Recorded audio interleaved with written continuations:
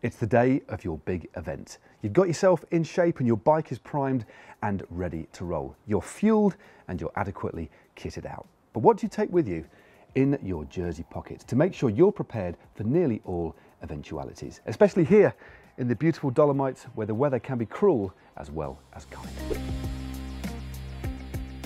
First up is the middle pocket. Now this is an ideal place to stow away your rain cape and or your gilet. And a handy little tip is this.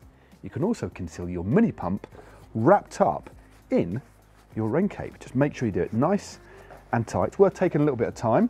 Place it in there and hey presto, we've made a nice little start.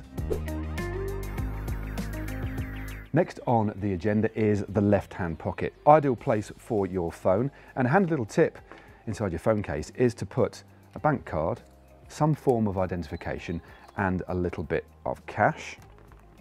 That all goes in there nice and neat. Let's just slot that in there.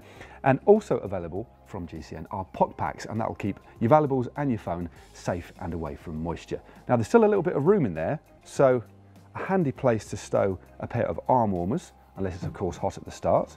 Let's just pop those inside. And depending on the weather conditions, and always before a big event, check the weather forecast, a good place for a pair of light gloves as well. Next up is the right hand pocket and we're going to place our food in here.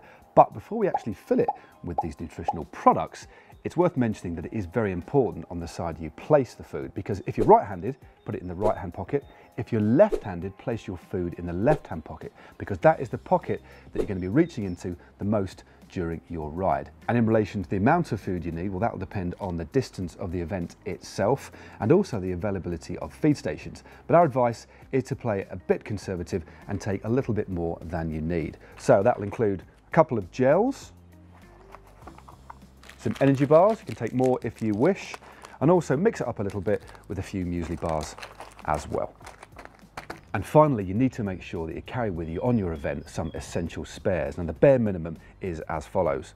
A couple of inner tubes, some tyre levers, of course, to remove your tyre from the rim, and importantly, a multi-tool that should include a chain link extractor as well. Now, as you can see, your pockets right now are pretty full. So our advice would be to buy a little saddle bag and stow all these handy things underneath your saddle. Well, there you have it, a GCN pocket packing strategy. Now, if you haven't already subscribed to the Global Cycling Network, you can do so for free by clicking on the globe, which is somewhere on the screen here.